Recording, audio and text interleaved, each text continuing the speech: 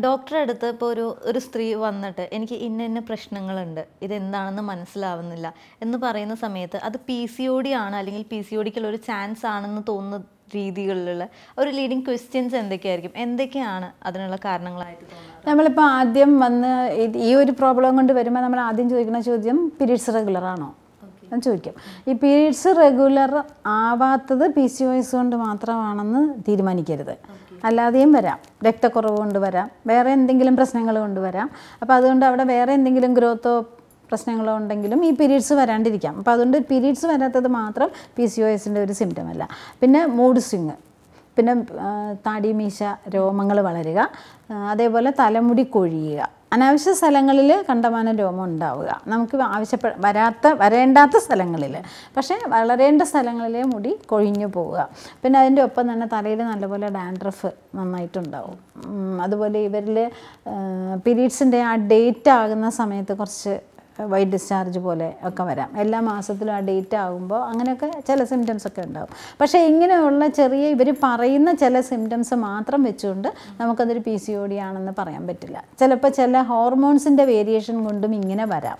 P C O S ഉണ്ടായാലേ hormone variation വരാവൂന്നൊന്നും പറയാൻ പറ്റില്ല. അപ്പോൾ അങ്ങനെ വരുമ്പോൾ നമ്മൾ യു എസ് ടി ചെയ്യാൻ പറയും. അബ്ഡോമിനൽ യു എസ് ജി ചെയ്യാൻ പറയും. അത് രണ്ട് വിധത്തിലാണ് ചെയ്യുക. കല്യാണം കഴിയാത്ത കുട്ടികളാണെങ്കിൽ അബ്ഡോമിനും പെൽവിസും അതായത് മേൽവയറും അടിവയറും മാത്രം ടെസ്റ്റ് ചെയ്യുക.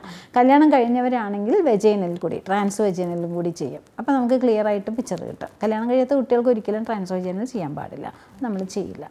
അപ്പോൾ ആ ടെസ്റ്റ് റിപ്പോർട്ട് നമുക്ക് വന്നു കഴിഞ്ഞിട്ടാണ് നമുക്ക് പി സി ഒ ഡി എന്നുള്ള ഒരു പൂർണമായ ഒരു ഡയഗ്നോസിസ് ഇല്ലാണ്ട് ഞാൻ ആരും ചികിത്സിക്കാറില്ല. എനിക്ക് പി സി ഒ എസ് ഉണ്ടായിരുന്നു എന്നും പറഞ്ഞു വരും.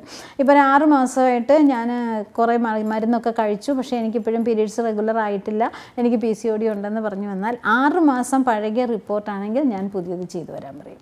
കാരണം ഇവർ മരുന്ന് കഴിച്ചിട്ടുണ്ട്. അതിൽ അവിടെ എന്തെങ്കിലും വേരിയേഷൻ വന്നിട്ടുണ്ടോ എന്ന് നമുക്ക് അറിയണമല്ലോ അപ്പോൾ അതുകൊണ്ട് അത് നോക്കിയിട്ടേ ചെയ്യാറുള്ളൂ. ഓക്കെ. അപ്പം എനിക്ക് തോന്നുന്നു ഈ ഒരു ട്വന്റി ഇയേഴ്സിലായിരിക്കും നമുക്ക് ഏറ്റവും കൂടുതൽ P C O D cases വന്നിട്ടുണ്ടാവുക. അപ്പം ഏകദേശം ആ ഒരു ഏജ് ഗ്രൂപ്പിൽ മാത്രമാണോ അതിനപ്പുറത്തേക്ക് ഉള്ള ഏജ് ഗ്രൂപ്പിലുള്ളവർക്ക് പി സി ഒ ഡി കാണും. വരുന്നുണ്ട്. ഇപ്പോൾ രണ്ട് കുട്ടികളുണ്ട് എനിക്ക് പ്രസവം നിർത്തി. പക്ഷേ എനിക്കിപ്പോൾ പീരീഡ്സ് റെഗുലർ അല്ല. ഞാൻ വണ്ണം വെക്കുന്നു. എനിക്ക് പി സി ഒ എസ് ഉണ്ടെന്ന് പറഞ്ഞ് വരുന്ന അമ്മമാരുണ്ട്. ഒരു മുപ്പത്തിരണ്ട് വയസ്സ് മുപ്പത്തഞ്ച് വയസ്സ് നാൽപ്പത് വയസ്സ് വരെയുള്ള ചില പേഷ്യൻസ് ഒക്കെ എന്റെ അടുത്ത് വരാറുണ്ട്. ചില എന്നല്ല കുറേ പേഷ്യൻസ് വരാറുണ്ട്. ഒരുപാട് പേര് ഒരുപാട് പേര് വരാറുണ്ട്. അങ്ങനെയും പറഞ്ഞിട്ട്. ഈ പി സി ഒ ഡി ഈ കാണുന്നൊരു ഈ ഇപ്പോൾ പറഞ്ഞ ഏജ് ഗ്രൂപ്പ് ഉണ്ടല്ലോ. ഇവർക്ക് പൊതുവേ കാണുന്നത് പറഞ്ഞ പോലെ മൂഡ് സ്വിങ്സ് അല്ലെങ്കിൽ പീരിയഡ്സ് കാര്യങ്ങൾ ഇങ്ങനെയുള്ള പ്രശ്നങ്ങളല്ലേ. ഇതിൽ ഏറ്റവും കോമൺ ആയിട്ട് എല്ലാവരിലും ഒരുപോലെ കാണുന്ന സിംറ്റംസ് എന്തൊക്കെയായിരിക്കും? എല്ലാവരിലും സ്ഥിരമായി കാണുന്ന ഒരു സംഭവം പീരീഡ്സ് റെഗുലർ അല്ല. അതൊന്ന്. പിന്നെ രണ്ടാമത് വരുന്നത് ഈ മുടി വളർച്ച. അത് മിക്കവാറും എല്ലാവരിലും ഉണ്ടാവും.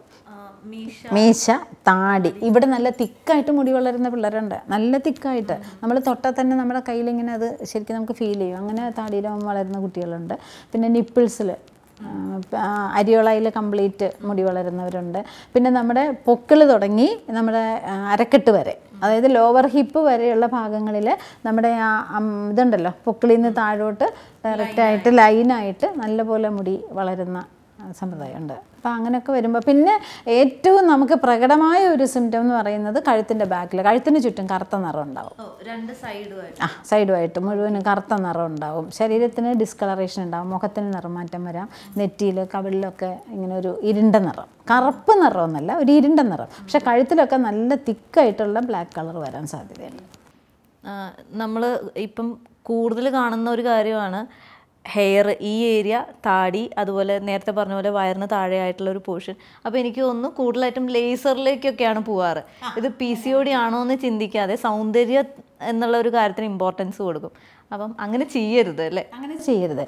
കാരണം ലേസർ ട്രീറ്റ്മെന്റ് ചെയ്യുക എന്ന് പറയുന്നത് കരിച്ച് കളയുക ചെയ്യുന്നത്. നമുക്ക് ഈ നമുക്ക് സ്ത്രീകൾക്കെല്ലാം പുരുഷന്മാരെ പോലെ തന്നെ ഈ രോമ വളർച്ചയ്ക്കുള്ള ഫോളിക്കിൾസ് നമുക്കുണ്ട്. സുഷിരങ്ങളുണ്ട്. കാരണം നമ്മുടെ വിയർപ്പ് പുറത്തേക്ക് പോകാൻ വേണ്ടിയാണ് ആ സുഷിരങ്ങൾ. നമ്മുടെ എല്ലാ സ്കിന്നിന്റെ എല്ലാ ഭാഗങ്ങളിലും ഈ സുഷിരങ്ങളുണ്ട്. പുറത്തേക്ക് സ്വെറ്റ് രൂപേണ നമ്മുടെ കുറേ വേസ്റ്റ് പോകാൻ വേണ്ടിയുള്ള ഹോൾസാണത് അപ്പോൾ ഈ ലേസർ ട്രീറ്റ്മെന്റ് ചെയ്യുമ്പോൾ ഇവരിത് കരിക്കുക ചെയ്യുക അപ്പോൾ ഒരു പ്രാവശ്യം രണ്ട് പ്രാവശ്യം ഒന്നല്ല പത്ത് പ്രാവശ്യം പതിനാല് പ്രാവശ്യം വരെ ലേസർ ചെയ്തു എന്ന് പറഞ്ഞ് വരുന്ന കുഞ്ഞുങ്ങളുണ്ട്. അപ്പോൾ എന്താ സംഭവം എന്ന് പറഞ്ഞു കഴിഞ്ഞാൽ ഓരോ പ്രാവശ്യം കരിക്കുമ്പോഴും ഈ ഹോൾ അടഞ്ഞടഞ്ഞു പോവുകയാണ് ലാസ്റ്റിൽ ഗ്രോത്ത് ഇല്ലാണ്ടാവുന്നത് അവിടുന്ന് പുറത്തേക്ക് വരാൻ പറ്റാതെ ആ ഹോൾസ് അടയുന്നു. അപ്പോൾ അവിടെ സ്കിന്നിന്റെ പ്രോബ്ലം വരും. അകത്തുള്ള വിയർപ്പ് പുറത്ത് പോകാണ്ടാവുമ്പോൾ മുഖക്കുരു വരാം. സ്കിന്നിന്റെ ശരീരത്തിലൊക്കെ ചൊറിച്ചിൽ അങ്ങനെ ഇങ്ങനെ പല ഡിസീസുകൾ സ്കിന്നിന്റെ പുറത്ത് ഇതിൽ എന്റെ ഒരു സംശയം കൂടിയാണ്. ഇങ്ങനെ ഒരു ഹെയർ ഗ്രോത്ത് വരുന്ന സമയത്ത് പറയാറുണ്ട് പാരമ്പര്യമായിട്ട് ഉള്ളതാണ് അതുകൊണ്ടായിരിക്കാം. ശരിക്കും പി സി ഒ ഡി പാരമ്പര്യമായിട്ട് വരുമോ അങ്ങനെ വരാം പി സി ഒ ഡി പാരമ്പര്യമായിട്ട് വരണമെങ്കിൽ എന്റെ കാലഘട്ടത്തിൽ പി സി ഒ ഡി ഉണ്ടാവണമല്ലോ. എന്റെ കാലഘട്ടത്തിലെന്ന് പറഞ്ഞാൽ എന്റെ തൊട്ടടുത്ത ജനറേഷനിലോ എന്നിലോ പി സി ഒ ഡി കണ്ടിട്ടില്ലല്ലോ.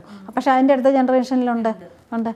അപ്പോൾ പാരമ്പര്യമായിട്ട് വരുന്ന ഒരു രോഗമെന്ന് പറയാൻ പറ്റില്ല. അമ്മയ്ക്കുള്ളത് കൊണ്ട് മോൾക്കുണ്ടായിക്കൊള്ളണം അമ്മായിക്കുള്ളത് കൊണ്ട് അനന്തരവർക്കുണ്ടായിക്കൊള്ളണം എന്നില്ല. ഉള്ളത് കൊണ്ട് വരാൻ പാടില്ലായികയില്ല വരാം. അപ്പം നമ്മുടെ അമ്മയ്ക്ക് പി സി ഒ ഡി ഉണ്ടെങ്കിൽ നമുക്ക് വരണമെന്നുമില്ല. ഇല്ല എന്ന് വെച്ച് നമുക്ക് വരാതിരിക്കാനുള്ള ചാൻസും ഇല്ല. അപ്പം പി സി ഒ ഡിയുടെ കുറച്ചും കൂടെ വിശദമായിട്ടുള്ള കാര്യങ്ങൾ നമ്മൾ അറിഞ്ഞു. എന്തൊക്കെ കാരണങ്ങൾ കൊണ്ടാണ്? അല്ലെങ്കിൽ അതിന്റെ ചെറിയ ചെറിയ നമുക്ക് പെട്ടെന്ന് മനസ്സിലാക്കിയെടുക്കാൻ പറ്റുന്ന സിംറ്റംസ് എന്തൊക്കെയാണെന്ന് നമ്മൾ അറിഞ്ഞു. ഇനിയും കൂടുതൽ വിവരങ്ങളുണ്ട്. അത് അടുത്ത എപ്പിസോഡിലായിരിക്കും